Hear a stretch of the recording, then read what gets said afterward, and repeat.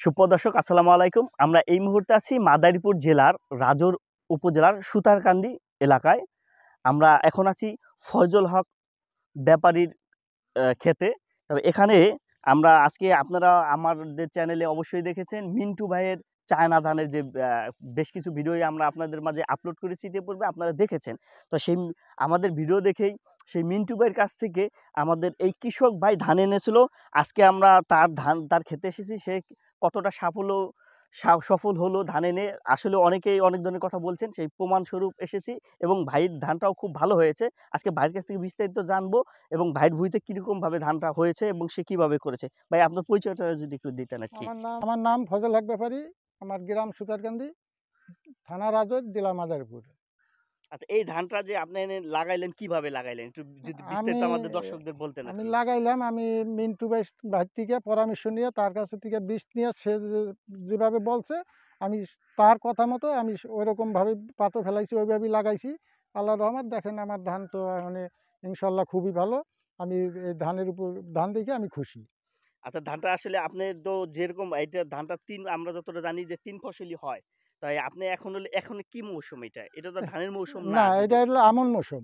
এই আমন মৌসুমে যে পরিমাণ ধান হয়েছে কেমন হবে আর কি? এই মৌসুমে এইখানে কতটুক শতাংশ বিঘা? এই বিষয়টা যদি ক্লিয়ার এটা বাহান্ন শতাংশ বিঘা আশা করি পঞ্চাশ মনের নিচে হবে না। তাই এই সিজনে তো ধান একটু কম হয়।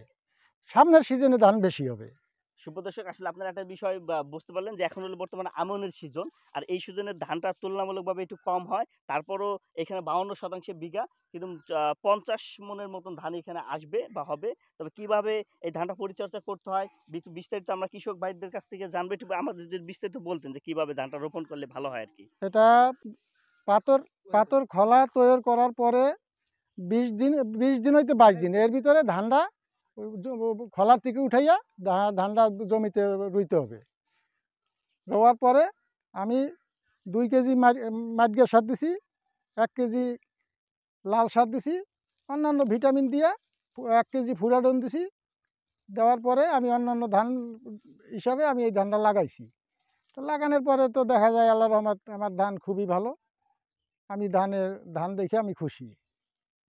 আচ্ছা আর একটা বিষয় জানতে চাইতেছিলাম যে এই যে ধানটা লাগাইছেন রোপণ করছেন আসলে এই ধানটা পরিচর্যাটা আসলে আর কীভাবে পরিচর্যা অন্যান্য ধানের থেকে অনেক সহজ এই ধানে পানি কম লাগে ওষুধ কম লাগে। সুপ্রদর্শক আসলে একটা বিষয় আপনারা জানতে পারলেন যে এই ধানটা পরিচর্যা করাটা খুবই সহজ। এই ধানটায় পানি কম লাগে এবং ওষুধ ওষুধ মাত্র একবার দিছি এবং আর একটা মজার বিষয় আছে যেটা সত্য যে মজার বিষয় যে ধানে অন্যান্য ধানে যেমন এমনি কৃষক ব্যবহার করা লাগে কি মানে যেটা বদলা বলি বা নিরানি নিরানি দেওয়া লাগে। দেওয়া লাগে সেই জিনিসটা কিন্তু এখানে দেওয়া লাগে না তেমন। আমি আমি তেমন দেই করেই নেই আর ধান আমার এমনি লাগানোর পরই আল্লাহ রহমত ধান খুব ভালোই হয়েছে দেখেন এই যে প্রায় সাতশো থেকে আটশোশো ধান আছে প্রতিটা ধানের গাছে।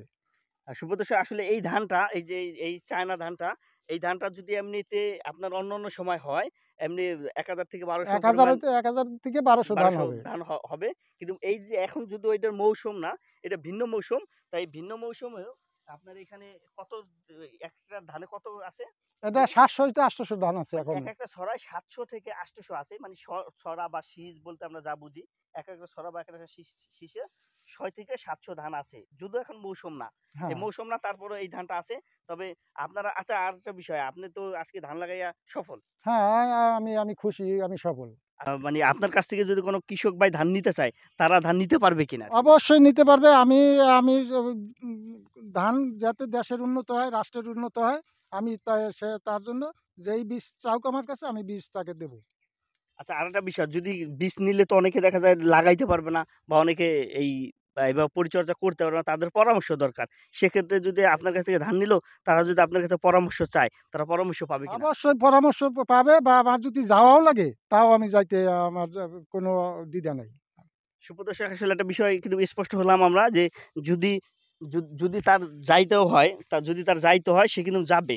কারও কাছে। যদি কোনো কৃষক ভাই রোপণ করতে কোনো সমস্যার সম্মুখীন হয় তার কাছে শুধু সাহায্য চান সে তার কাছে প্রয়োজনে যাবে সে যাইও তার কাছে তাকে হেল্প করবে আর কি সেরকমই তার ইচ্ছা এবং সে চায় যে আসলে সবার কাছে এই ধানটা ছড়াই পড়ুক। আসলে ধানটার ধানটার উচ্চতাটা কেমন হয়? এমনি ধানটার বৈশিষ্ট্যটা কেমন? যদি একটু ডিটেলস বলেন। তিন ফুট।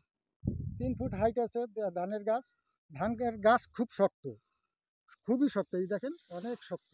অন্যান্য ধানের থেকে অনেক শক্ত। ধানের গাছ কত মোটা এই ধান সহজে হেলে না ধান দাঁড়াই থাকে। আচ্ছা আর পানি লাগবে কেমন আর কি? ধানের পানির শেষটা? পানি পানির জমিতে বাজাই রাখা যাবে না পানির জমি খালি ভিজাইয়া পানি বাইর করে দিতে হবে। তাতেই ধান হয়ে যাবে। বেশি একটা এই বইতে এই ধানে বেশি পানি দিয়ে বাজাই রাখা লাগে না। বাজাই বাজাই রাখলে আরও একটু ক্ষতির দিক দিয়ে ক্ষতির দিক দিয়ে হয়ে যায়। আসলে আসলে আপনারা একটা বিষয় দেখলেন যে আর আহ, কিছু থেকে শুনলেন তো আর একটা বিষয় কি? আমাদের এলাকা হচ্ছে মিষ্টি পানি। আমাদের কি লবণাক্ত না মিষ্টি পানি। আচ্ছা তার মানে এই ধানটা মিষ্টি পানি এবং লবণাক্ত পানিতে দুই ধরনের পানিতেই হয় আমি যতটা জানি এবং ইতিপূর্বে যে রকম দেখছি আসলে আপনারা ধানগুলো যদি একটু দেখেন আপনি একটু দর্শকদের ধানের বৈশিষ্ট্যটা বলেন যে ধানটা আসলে কীরকম দেখতে হয় এই ধানের হুম আছে কিনা গায়ে ধানটা কি ধানের ধানের গায়ে হুম আছে ধান আঠাইশ উনত্রিশ জাতীয় একেবারে হুবাহুব আঠাইশ বা উনত্রিশ এই ক্যাটাগরি ধান। এটা হলো বাজারেও একেবারে উপর লেভেলের দামের ধান এটা কোনো মোটা ধান না এটা সব আঠাইশ উনত্রিশ জাতীয় ধান। ধানটা তো তুলনামূলকভাবে একটু চিকন। হ্যাঁ চিকন। ধান চিকন। সুপ্রদর্শক আসলে যারা আমাদের কৃষক ভাইয়ের কাছ থেকে যদি হ্যাঁ, কেউ নিতে চান তাহলে আচ্ছা আপনার কাছ থেকে নিলে আপনার কাছ থেকে সাথে যোগাযোগ করবে কীভাবে আমার কৃষক ভাইরা? আমার যদি যোগাযোগ করে তাহলে আমার মোবাইল নাম্বার দেওয়া যেতে পারে।